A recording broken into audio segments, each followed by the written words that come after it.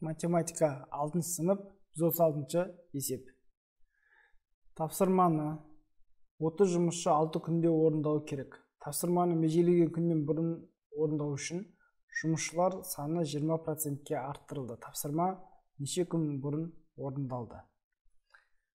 Ондай болса біз жалпы жұмысты анықтай қанша жұмыс жасалу керек деген сияқты. Мысалы үшін отыз жұмысшы алты күнде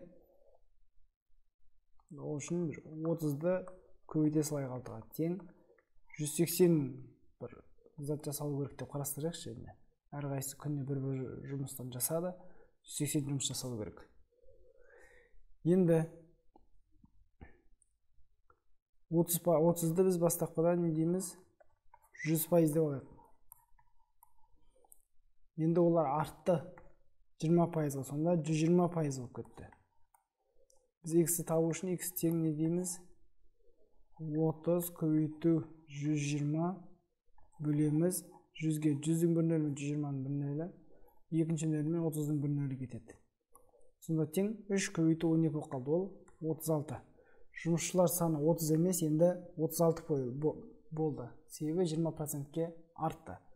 Жалпы жасалу керек болған жұмыс бізде 180 еді соны бөлеміз 36-ға тең 5 шығады демек 5 күнде орындады.